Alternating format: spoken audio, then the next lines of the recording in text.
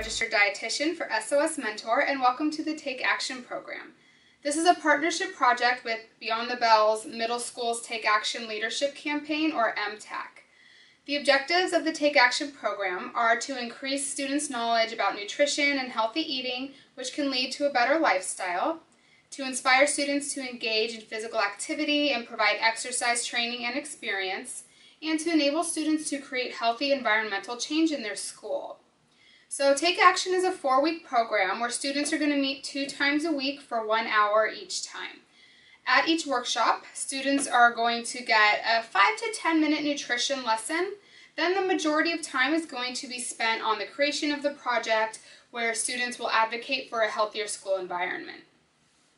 The Take Action Nutrition component is a partnership with Beyond the Bell, as I have mentioned, um, Um, MTAC.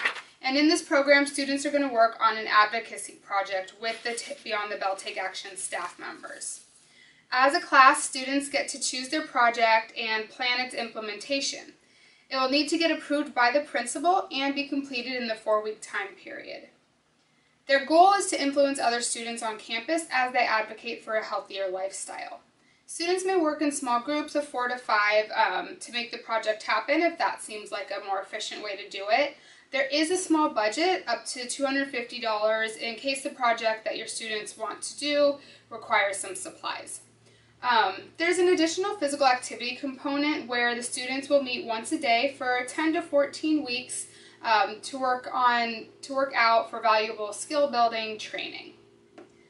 So um, there's some examples of project ideas that I just want to bring up. Um, there, so some ideas are you could do the creation of posters advertising healthy behaviors that they put up throughout the school, getting healthier foods in the school store, starting a nutrition, cooking, or exercise club on campus, um, finding ways to encourage students to eat lunch at school, because I know a lot of students don't, um, creating a healthy living page for the school website or school newspaper. This is a great way for families to see what they're working on.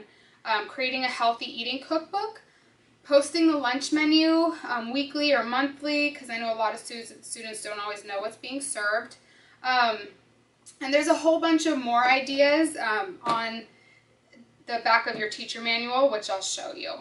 Um, each group of students should have something to contribute each week to the final project. So you're going to receive a box, and this box will have all the materials you'll need for the program. So I'm just going to quickly go through the box. Um, the first thing that you're going to get is your green folder. So inside here is the staff reference guide.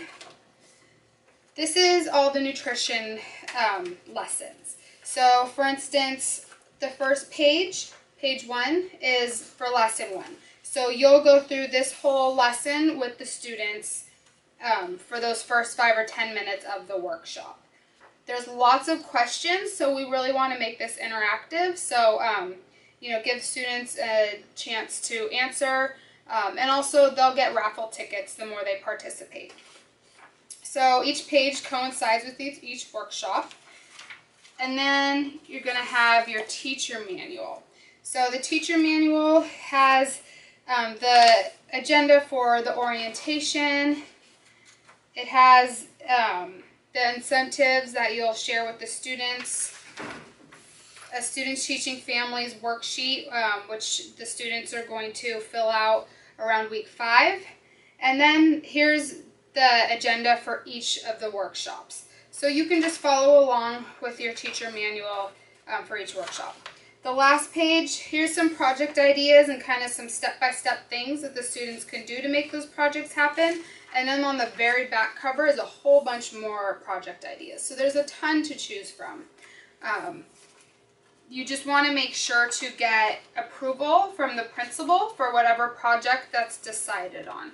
Um, that's really important. And let students know that as well. Alright, so you have a bag of raffle prizes in here. Every week you're going to do, or, or every workshop you're going to do a raffle for the students who participate, who attend. Um, so they can choose a prize out of here. You have the raffle tickets to give out, and then the raffle bags. So you can draw the winner out of here. You're going to get a container full of pencils for the students if they need them. And then you have at orientation, the students are going to take pre-tests and then they're going to take the same test again at um, culmination. So you have the pre-test and the post-test in your box.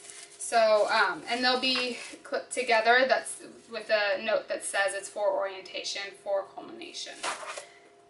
You also have an incentive sheet. So this is a sheet that the students can look over to see how they can be eligible for certain raffle prizes at culmination.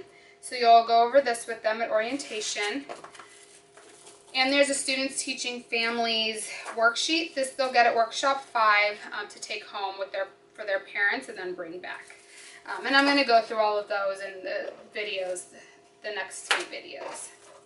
So that's everything in the box. Um, teachers, before each workshop, make sure you watch the training video that goes with it and go through the staff reference guide and your teacher manual just so you know what to expect. Thank you so much for participating in the Take Action program.